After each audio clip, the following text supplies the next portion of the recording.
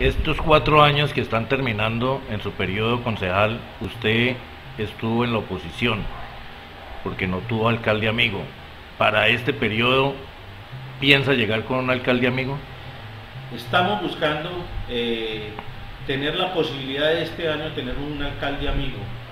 Eh, no hemos tomado la decisión no, todavía hacia dónde vamos a apuntar, hacia qué candidatura le vamos a apuntar a la administración, pero sí esperamos que esta vez podamos contar con eso porque de esa manera los proyectos y las ideas que yo tenga para mi comunidad va a ser más fácil sacarlas adelante. Y ténganlo por seguro que independientemente de que sea mi amigo, siempre le, haré una posición constructiva a la administración.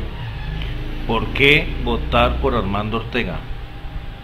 Yo los invito este 26 de octubre, 25 de octubre, perdón, este 25 de octubre que me acompañen a votar en el Partido Verde número uno, porque soy una persona que tengo conocimiento de la administración pública, que he liderado procesos públicos, que he liderado procesos sociales, que no me dejo comprar por algunas eh, participaciones que le dan a la administración, porque es que primero la comunidad y luego los intereses particulares.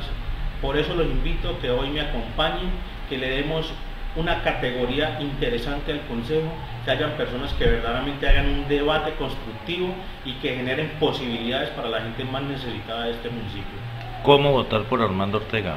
Este simplemente buscando el logo del partido Alianza Verde y marcando el número uno al Consejo. De esa manera votaremos por Armando Ortega. ¿Su mensaje a los zarzaleños?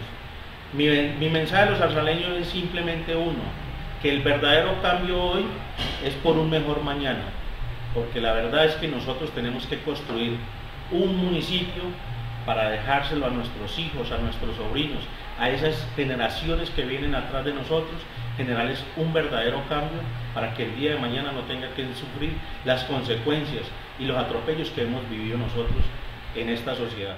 El enfoque. Muchas gracias Jaime. Usted.